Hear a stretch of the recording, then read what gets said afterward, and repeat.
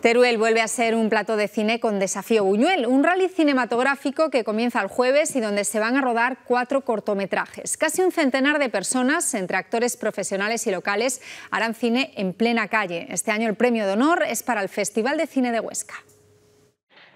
¿No estuvo en la corrida del domingo pasado? Sí. Imposible que me confunda con otro. Ese oscuro objeto de deseo que Buñuel rodó en 1977 es este año la película en la que se tienen que inspirar los participantes. El desafío está en rodar un cortometraje en 48 horas y que la ciudad sirva de escenario.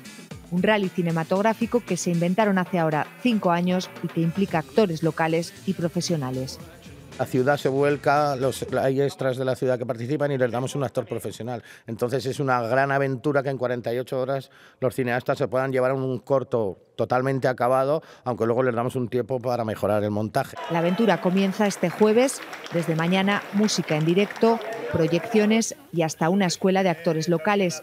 Desafío Buñuel apuesta por Teruel como escenario de rodajes y proyecciones audiovisuales.